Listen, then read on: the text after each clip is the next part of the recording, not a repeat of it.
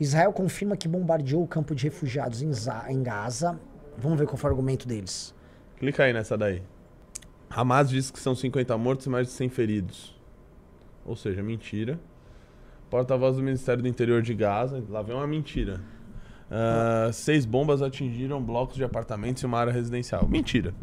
Tá Ah, por quê? Assim, não, Cara, geralmente mentira. quando vem notícia do Não, Ministério mas, da Saúde de Israel Gaza. confirma ataque. Tá, vamos, vamos, vamos ler então a notícia até o final. O coronel Richard Hecht. Atacaram um campo de refugiados em Jabalia. Israelenses afirmaram que mataram muitos terroristas Uhum. do Hamas, inclusive Ibrahim Biari, que comandava um batalhão do Hamas e que foi um dos líderes do ataque terrorista do dia 7. Segundo os israelenses, esse batalhão do Hamas também havia tomado o controle de prédios civis na cidade de Gaza. O de Israel disse também que depois do bombardeio, alguns túneis do Hamas foram destruídos.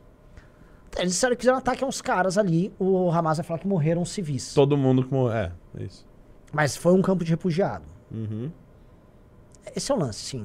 A guerra é um negócio muito triste, muito sangrento. É, Por isso que eu não é, gosto de isso ficar é uma coisa que é torcendo complicado demais pra falar. Eu não vou ficar torcendo, porque assim, senão a gente vai ficar aqueles perfis que tem um leão de Judá.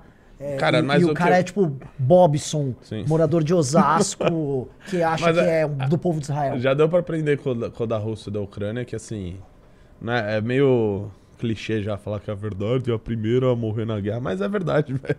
É. tipo, vira só um ataque de mentira de um lado Guerra contra o outro, geralmente. aí e tal. O lance é o seguinte, como a, a guerra, um fez um ataque terrorista de um dia, o outro lado vai ter que fazer uma exaustiva e intensiva guerra. Logo, o desgaste de imagem é muito maior para Israel. Sim, claro. Ah, assim, vamos falar a verdade. Existem manifestações acontecendo em todos os continentes a favor da Palestina, Sim. não de Israel. Sim, sim. Essa é uma verdade Sim, incontestável. E porque a esquerda é organizada, você tem comunidades muçulmanas ao redor do mundo. É, até pelos muçulmanos serem, sei lá, Ah.